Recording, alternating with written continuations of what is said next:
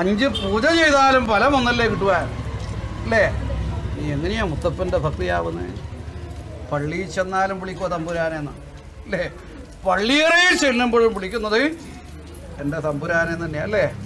അതുകൊണ്ട് മുത്തപ്പൻ എന്നാ ഇപ്പം പറയേണ്ടത്? വിളക്ക് വെക്കുന്ന പള്ളി അറിയോ നിനക്ക്?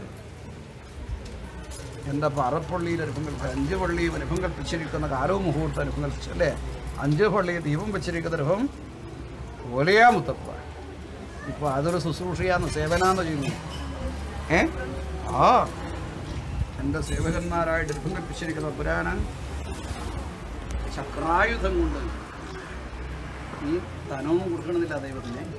നിന്റെ മനസ്സാ ദൈവത്തിലേക്ക് അർപ്പിച്ചിട്ടുള്ളത് അതിന്റെ കൃപയും കടാക്ഷം കൊണ്ട് നല്ല ജീവിതം നയിക്കാൻ എന്റെ തമ്പുരാൻ എത്തിക്കണം അല്ലേ? നന്നായി നല്ല ജീവിതം എന്ന് പറയാ? ആ കണ്ണുകലങ്ങാതെ നോക്കുന്നവരും കാതിന് ഇമ്പം വരുന്ന കീർത്തനം പാടും നല്ല വാക്ക്